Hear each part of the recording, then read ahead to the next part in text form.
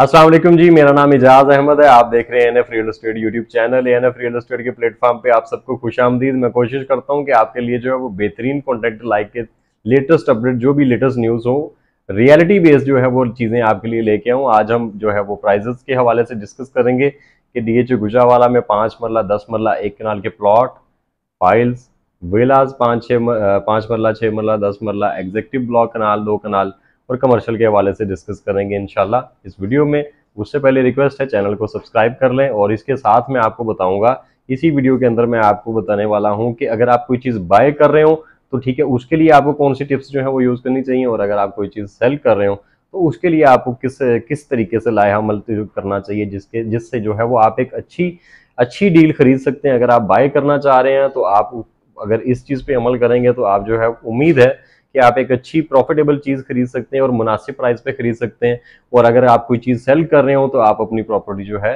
वो अच्छे दामों बेच सकते हैं। बढ़ते वीडियो की तरफ़।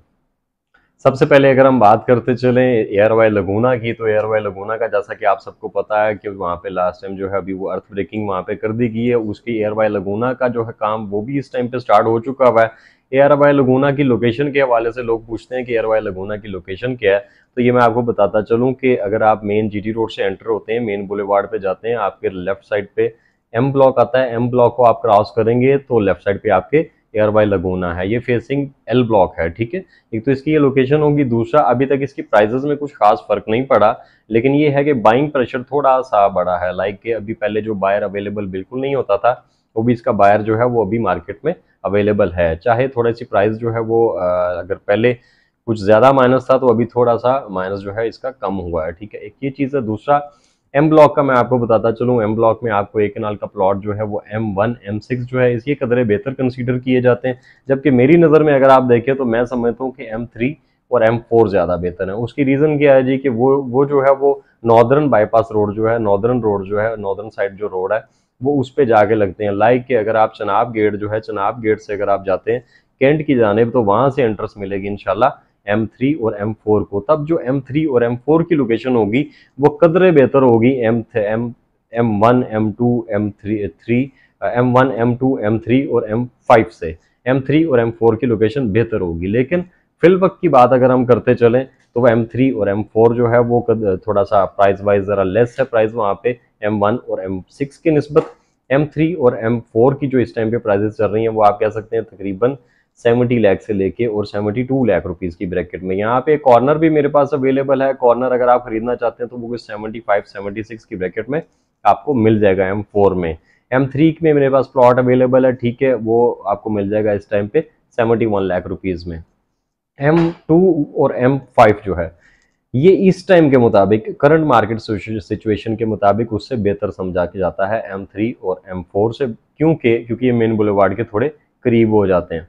तो यहाँ पे जो आपको प्लॉट मिलता है, वो आप कह सकते हैं सेवेंटी से सेवेंटी थ्री सेवेंटी फोर की ब्रैकेट में। अब अगर हम बात करते चलें वन और एम सिक्स की, जो कि मेन बुलेवार्ड के करीब तीन ब्लॉक हैं, ठीक है? सब सेक्टर्स इसको बोलता हूँ एम ब्लॉक के, सब यही बोलते हैं। और है भी यही तो इसको यहाँ पे जो प्राइजेज हैं वो आप कह सकते हैं 72 से लेके और 76, 78 तक है इसकी डिपेंड करता है इसकी लोकेशन पे। यहाँ पे भी एक प्लॉट मेरे पास अवेलेबल है जी फेसिंग पार्क वो 78 लाख रुपीज़ की ब्रैकेट में इनशाला आई होप कि आपको मिल जाएगा। और यहाँ पे एक एवरेज प्लॉट भी है मेरे पास 300 की सीरीज़ में वो आपको प्लॉट मिल जाएगा तकरीबन 71, 72 की ब्रैकेट में ठीक है? इसके बाद अगर हम बात करते चलें एग्जेक्टिव विला की एग्जेक्टिव ब्लॉक की सॉरी एग्जेक्टिव ब्लॉक में एक कनाल जो है, इसकी जो है वो ऑन ऑन प्रॉफिट इस टाइम पे जो पेड अमाउंट के ऊपर ऑन प्रॉफिट है, वो तकरीबन दो से तीन लाख रुपए ऑन डिमांड करते हैं और दो कनाल का जो एग्जेक्टिव ब्लॉक है, इस पे इस टाइम पे लोग डिमांड करते हैं पाँच से नौ लाख रुपए ऑन प्रॉफिट इसके अलावा अगर हम बात करते चलें इस टाइम पे के ब्लॉक की तो के ब्लॉक में एट मरला और फाइव मरला के प्लॉट्स हैं। फाइव मरला प्लॉट जो है वो के टू और के थ्री के फोर के फाइव इनको मैं कदरे बेहतर समझता हूँ बिकॉज़ ये मेन बुलेवार्ड से जब आप टर्न लेते हैं के ब्लॉक की जानब तो ये उस रोड के ऊपर आते हैं। ठीक है? इसके अलावा के सिक्स सेवन एट नाइन ये ज़रा बैक पे आते हैं। तो के टू और के थ्री में एक और रीज़न भी है कि यहाँ पे कच्ची रोड्स बन चुकी हुई हैं। यहाँ पे आपको प्लॉट मिलता है इस टाइम पे तीस से बत्तीस लाख रुपए का। और अगर हम बात करते चलें के फोर और के फाइव की, यहाँ पे आपको प्लॉट उनतीस से इकतीस लाख रुपए का। इसी तरह के सिक्स सेवन एट जो है, यहाँ पे आपको प्लॉट मिलना चाहिए ट्वेंटी सेवन से लेके और ट्वेंटी एट ट्वेंटी नाइन की ब्रैकेट में। और के नाइन की अगर हम बात करते चले तो वहाँ को प्लॉट मिलना चाहिए पच्चीस से सत्ताईस लाख रुपए की ब्रैकेट में। इसी तरह के ब्लॉक में जो एट मरला के प्लॉट हैं, ये सिर्फ़ ये चगुजा वाला में एट मरला, सिर्फ़ के के ब्लॉक में और के के सब सेक्टर के वन जो है सिर्फ़ इसमें मौजूद है और के वन जो है, ये टोटली एट मरला का सेक्टर है सब सेक्टर है, इसके अंदर फाइव मरला नहीं है। यहाँ पे आपको जो एट मरला का प्लॉट मिलता है, वो फोर्टी से forty three forty four lakh rupees की ब्रैकेट में मिलता है। इसी तरह अगर हम बात करते चलें जी एल ब्लॉक की तो एल वन में जो है, वो टोटली टेन मरला के प्लॉट्स हैं, ठीक है, और, बाकी जो एल टू एल थ्री जो है एल फोर एल फाइव इनके अंदर जो है वो एक कनाल के प्लॉट्स हैं, ठीक है? तो जो एल वन में जो टेन मरला के प्लॉट्स हैं, वो फिफ्टी सिक्स लाख रुपीज़ से लेके और सिक्सटी वन लाख रुपीज़ की ब्रैकेट में इसी तरह एल टू एल थ्री में जो है वो प्राइजेस कदरे बेहतर हैं। L L two L L three के जो सब सब सेक्टर हैं, यहाँ पे प्राइजेस कदरे बेहतर हैं, बाकी एक कनाल के प्लॉट्स हैं, ठीक है? यहाँ पे आपको एक कनाल का प्लॉट एवरेज आपको मिलता है तकरीबन 85 लाख रुपीज़ का। और अगर कोई फेसिंग पार्क यहाँ पे एक मेरे पास प्लॉट अवेलेबल है एल थ्री का, अगर आप कोई खरीदना चाहते हैं तो आप मुझसे रब्ता कर सकते हैं। और बाकी जो सेक्टर है एल ब्लॉक का, यहाँ पे आपको प्लॉट मिलता है तकरीबन, आप कह सकते हैं सेवेंटी सेवन लाख रुपीज़ से लेके और eighty eighty two lakh rupees की ब्रैकेट में। और इसी तरह अगर हम बात करते चले विलाज की विलाज फाइव मरला विला जो है वो इस टाइम पे आपको मिलता है ऑन प्रॉफिट आप कह सकते हैं कोई साढ़े तीन से साढ़े चार लाख रुपए के दरमियान। छह मरला विला जो है वो आपको मिलता है सोलह से अठारह लाख रुपए के दरमियान। इसी तरह अगर हम बात करते चलें दस मरला विला की तो दस मरला विला आपको मिलता है पंद्रह से सोलह लाख रुपए के दरमियान। छह मरला विला जो है वो इस टाइम पे मार्केट में थोड़ा शॉर्ट है तो आपको शायद सोलह का ना मिले, वो सत्रह, अठारह, उन्नीस के दरमियान शायद आपको विला जो है वो इस टाइम पे मिलेगा।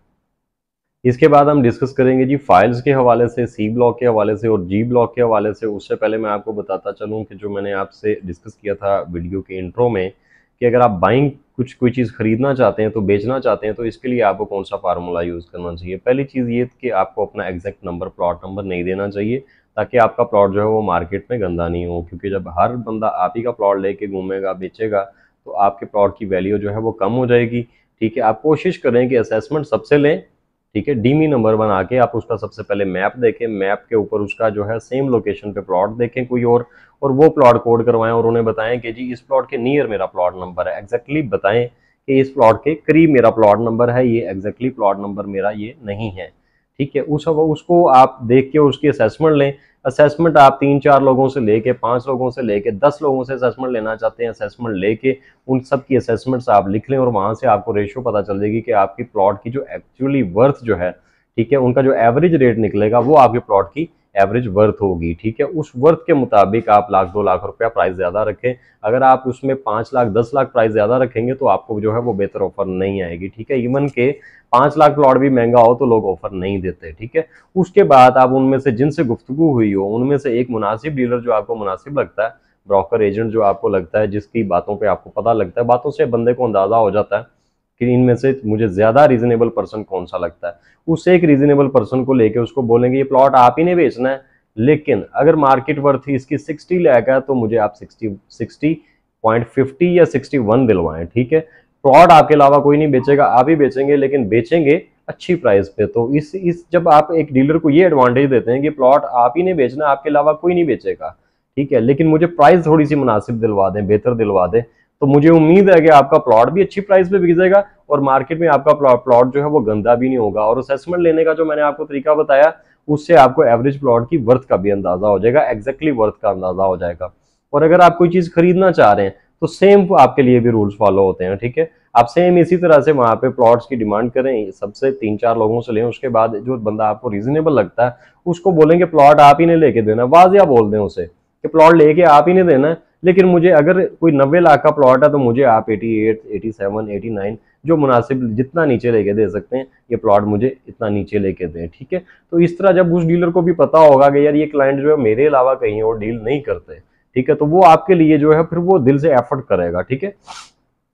और कमीशन डीलर को पूरी दें ताकि वो आपको प्लॉट जो है वो मुनासिब लेके दें क्योंकि जब हम जब क्लाइंट कहते हैं ना कि, यार, हमने हाफ़ परसेंट कमीशन देनी है तो डीलर बेचारा पहले ही माइंड बना के बैठा होता है कि, यार, मैंने इसमें पचास हज़ार लाख रुपये अपना रखना है। ठीक है? ये ओपनली बातें आपके साथ मैं कर रहा हूँ। वो सभी नहीं करते, लेकिन ज़ाहिर है उसने अपना वन परसेंट कमीशन जितना तो उसका राइट बनता है ना, सर तो उसको टोका या मार्जिन आप कंसीडर नहीं कर सकते। यानी एक बंदे का राइट लाख रुपया बनता है, आप उसे फोर्टी थाउज़ेंड या फिफ्टी थाउज़ेंड दे रहे हैं। फिफ्टी थाउज़ेंड अगर वो टॉप रख लेता तो उसका तो वन परसेंट कमीशन ही बनता है। ये लोगों की मैंटेलिटी है।